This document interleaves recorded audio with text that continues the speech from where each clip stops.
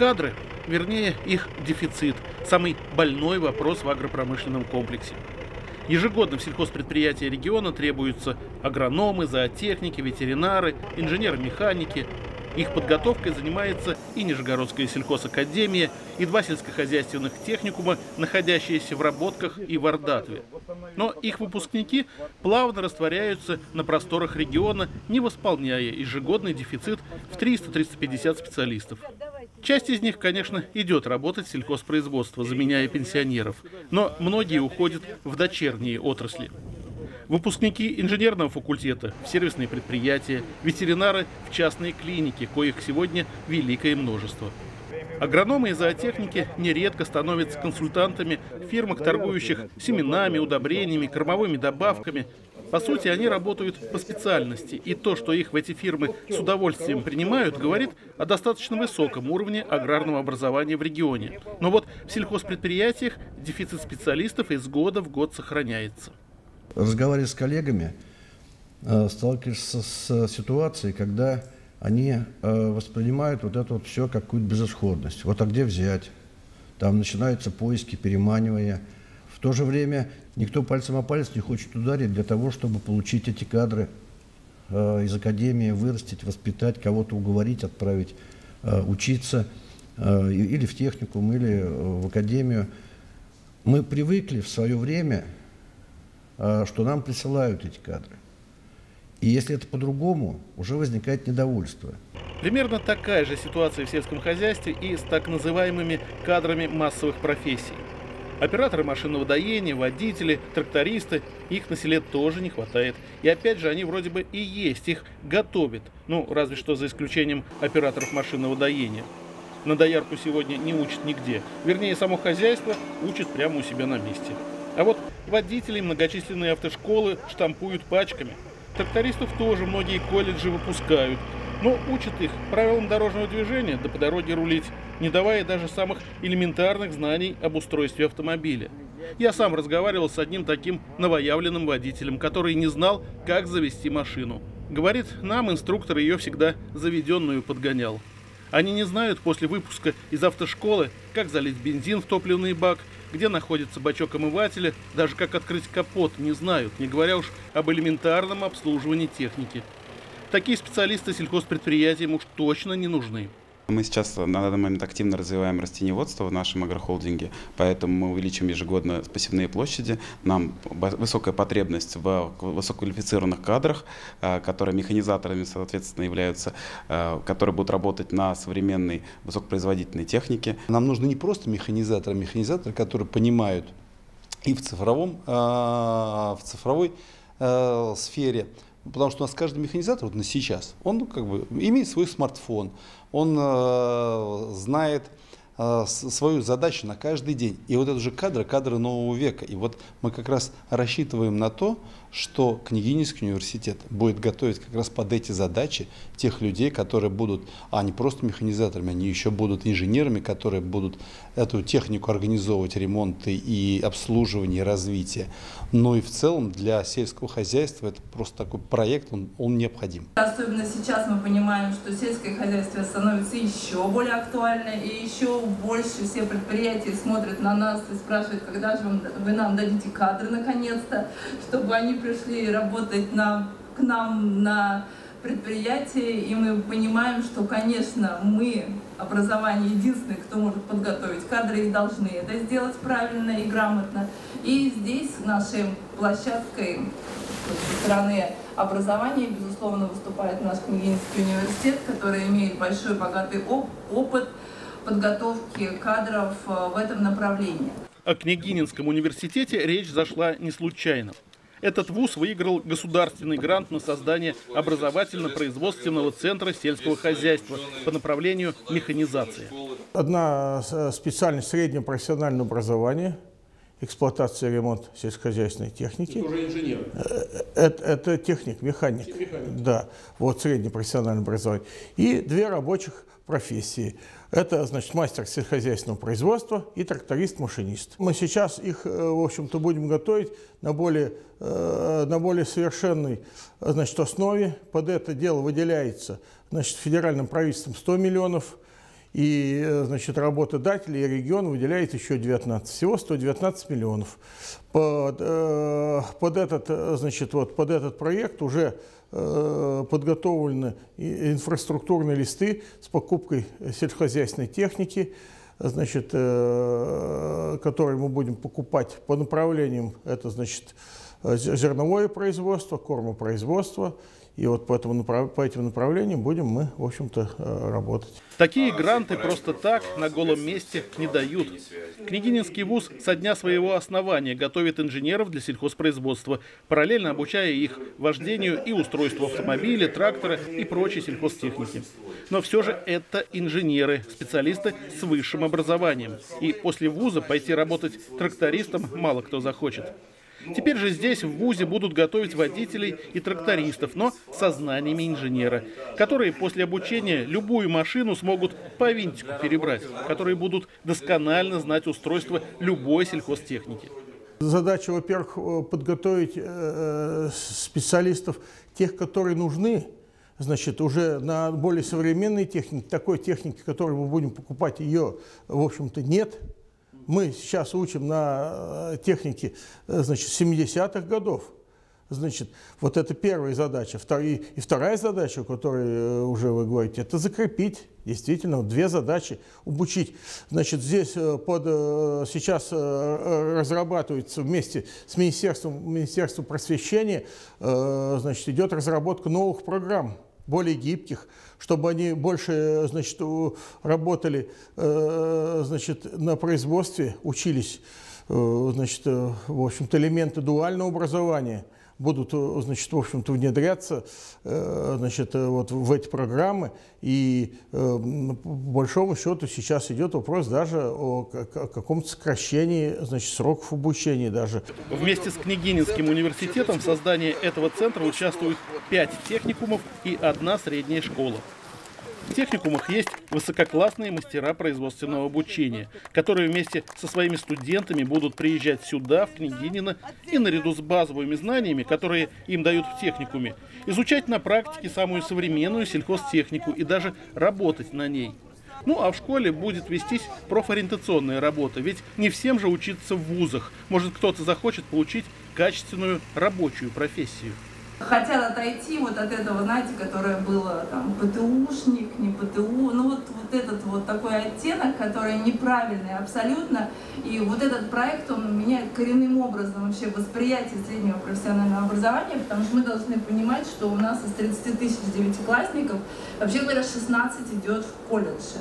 То есть это большие части, как раз это те кадры, которые, по сути, могут оказаться уже у нас на, на предприятиях через э, год-полтора. И самое главное, есть специалисты, молодой, молодой, э, значит, молодой преподавательский состав, средний возраст который 38 лет, и кандидаты наук, э, и доктора наук, которые могут, и мастера, мастера производственного обучения, которые, в общем-то, есть.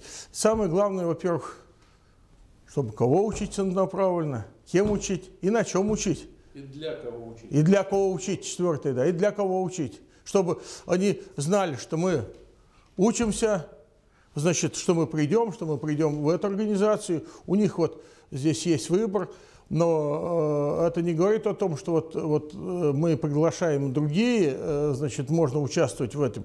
И другие сельскохозяйственные организации, у нас договора заключена, заключены с более 300 значит, сельскохозяйственных разных организаций, там, крестьянских фермерских хозяйств, и, значит, в общем-то, ООО и других организаций заключены договора, поэтому они тоже, мы их приглашаем к участию в этом проекте. Смысл этой техники, вот этого проекта, чтобы она была, значит, э, зимой стояла как экспонат, а летом работал в поле, чтобы ее зимой, в общем-то, готовили, те же, те, те же ребята, значит, готовили, а летом выезжали на, на, ней, на ней в поле на практику. Как раз в те предприятия, которые, в те предприятия, которые, которые вложились в этот проект.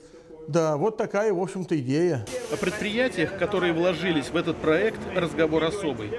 В большинстве своем это крупные организации, работать в которых считается престижным. Ну, судите сами.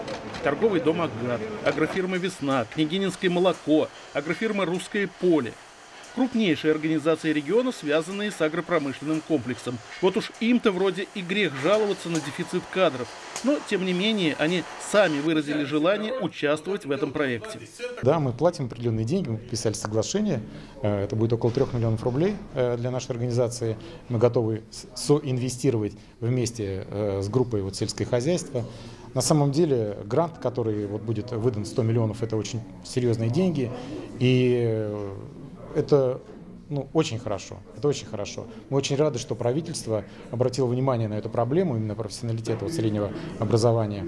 На самом деле это давно назревшая и очень важная проблема. Нам необходимо от 10 до 20 человек ежегодно привлекать э, высококлассных механизаторов. Я надеюсь, в ближайшие уже годы мы будем привлекать и на практику, и по итогу с практики они обязательно будут сразу трудоустраиваться к нам в компанию. Как компания, наше автомобильное подразделение уже давно сотрудничает с Княгининским университетом, поэтому это позволило нам оценить, что это за университет, какая корпоративная культура там внутри университета, какие какой кадровый состав, как относятся к ученикам.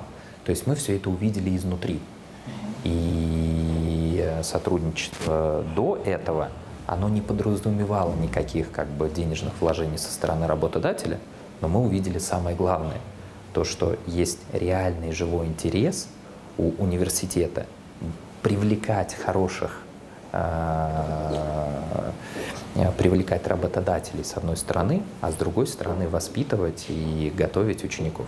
Расположение университета вне э, там, центра субъекта федерации, оно ведет к качественно иному э, там, портрету ученика, который там учится. И это является очень важным таким градообразующим фактором, потому что мы для себя увидели, что там, условно говоря, на 100 учеников, которые есть в Княгининском университете, может быть гораздо больше реальный практический выхлоп а, в части людей, кого мы готовы трудоустроить в компанию. Потому что люди понимают, что они хотят, за ними следят учителя, которые понимают, какая у них конечная цель. И вот эта вот уникальная атмосфера э, такой хорошей семейственности, что ли, формирует очень доверительное отношение между а, учителями и учениками. И, соответственно, выхлоп очень хороший по людям. Работодатели вложились в проект не только деньгами. Ежегодно они будут брать студентов на практику. Причем практика эта будет длиться целый год, параллельно с учебой. А затем этих студентов они же и трудоустроят. Они, значит, будут, э, значит, как базами практик Значит, они будут принимать значит, студентов, э, представлять производственной площади, представлять наставников, которые, значит, э, будут работать не просто, когда иногда приходят студенты, значит, вот тебе дали, значит, это как трактор, который никогда не ездил, вот ты ее ремонтируй. И такие случаи, значит, у нас э, бывали. И, и это ходят вокруг него э, как студенты-практиканты, посмотрят, плюнут и побежали.